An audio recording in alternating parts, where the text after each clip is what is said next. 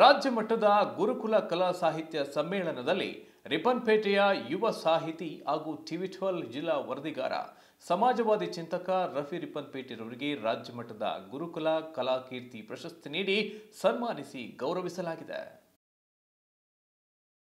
ತುಮಕೂರಿನ ಸಿದ್ಧಗಂಗಾ ಮಠದ ಆವರಣದಲ್ಲಿ ನಡೆದ ರಾಜ್ಯ ಮಟ್ಟದ ಗುರುಕುಲ ಕಲಾ ಸಾಹಿತ್ಯ ಸಮ್ಮೇಳನ ಕಾರ್ಯಕ್ರಮದ ದಿವ್ಯ ಸಾನ್ನಿಧ್ಯವನ್ನು ತುಮಕೂರಿನ ಸಿದ್ಧಗಂಗಾ ಮಠದ ಪೂಜ್ಯ ಶ್ರೀ ಸಿದ್ಧಗಂಗಾ ಮಹಾಸ್ವಾಮಿಗಳು ವಹಿಸಿದ್ರು. ಅಭೂತಪೂರ್ವ ಸಾಹಿತ್ಯ ಸಮ್ಮೇಳನದಲ್ಲಿ ಈಗಾಗಲೇ ರಾಜ್ಯ ಮಟ್ಟದ ಸಾಹಿತ್ಯ ಸಿರಿ ಹಾಗೂ ಗುರುಕುಲ ಶಿರೋಮಣಿ ಎಂಬ ಎರಡು ಪ್ರಶಸ್ತಿಯನ್ನು ಪಡೆದಂತಹ ಅತ್ಯುತ್ತಮ ಬರಹಗಾರ ರಿಪ್ಪನ್ಪೇಟೆಯ ರಫೀರವರಿಗೆ ಗುರುಕುಲ ಕಲಾ ಪ್ರತಿಷ್ಠಾನದಿಂದ ರಫೀರವರ ಅನುಪಮ ಸೇವೆಯನ್ನು ಗುರುತಿಸಿ ಗುರುಕುಲ ಕಲಾ ಕೀರ್ತಿ ಎಂಬ ಬಿರುದಿನೊಂದಿಗೆ ಆತ್ಮೀಯವಾಗಿ ಸನ್ಮಾನಿಸಲಾಗಿದೆ. ಈ ಸಂದರ್ಭದಲ್ಲಿ ಕನ್ನಡ ಅಭಿವೃದ್ಧಿ ಪ್ರಾಧಿಕಾರದ ಅಧ್ಯಕ್ಷ ಟಿಎಸ್ ನಾಗಭರಣ ಹಿರಿಯ ಸಾಹಿತಿ ಪದ್ಮಶ್ರೀ ಪುರಸ್ಕೃತ ದೊಡ್ಡರಂಗೇಗೌಡ, ಜನಪದ ಗಾಯಕ ಗುರುರಾಜ್ ಹೊಸಕೋಟೆ, ಗುರುಕುಲ ಕಲಾ ಪ್ರತಿಷ್ಠಾನದ ರಾಜ್ಯಾಧ್ಯಕ್ಷ ಒಲಿಯೂರು ದುರ್ಗಾ ಲಕ್ಷ್ಮೀನಾರಾಯಣ ಸೇರಿದಂತೆ ಹಲವಾರು ಗಣ್ಯರು ಉಪಸ್ಥಿತರಿದ್ದರು.